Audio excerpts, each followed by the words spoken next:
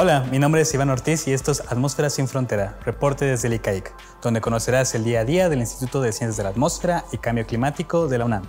Continúa el panorama actual de las ciencias atmosféricas y cambio climático 2022 con la conferencia Modelando la calidad del aire local con un modelo global multiescala. Quien impartió esta plática fue Luisa Emos, investigadora senior del Centro Nacional de Investigaciones Atmosféricas de Estados Unidos. Emmons forma parte de un proyecto colaborativo entre más de 30 científicas y científicos de todo el mundo, quienes crearon Música, un modelo que pretende ser el nuevo paradigma para estudiar la contaminación del aire.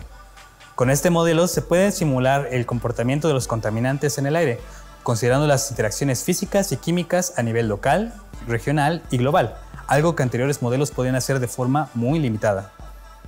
Esta herramienta también sirve para formular políticas públicas. Emmons, por ejemplo, utilizó este modelo para identificar los precursores de ozono en el estado de Colorado, Estados Unidos. Música también puede simular los contaminantes generados por incendios forestales y la quema de biomasa. Se ha utilizado este modelo en diversos puntos del planeta, desde Asia hasta Sudamérica.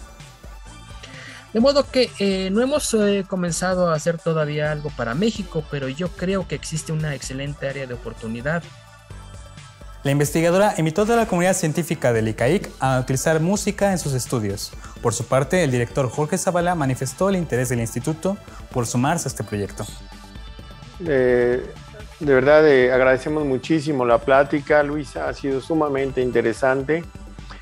Eh, vamos a buscar que tengamos una colaboración coordinada como institución y quiero decir que por coordinada para aprovechar las múltiples capacidades que tenemos aquí y eh, poder implementar a la mayor brevedad y darle el mayor uso posible. Es decir, eh, que no solo se enfoque en sea un esfuerzo muy grande por implementarlo por un pequeño grupo un investigador, sino que sea un esfuerzo de todo nuestro instituto la doctora Emmons concluyó que aunque los modelos tienen limitaciones para representar la complejidad de la atmósfera, se tiene que incorporar tecnologías que van desde la ciencia de datos hasta el machine learning.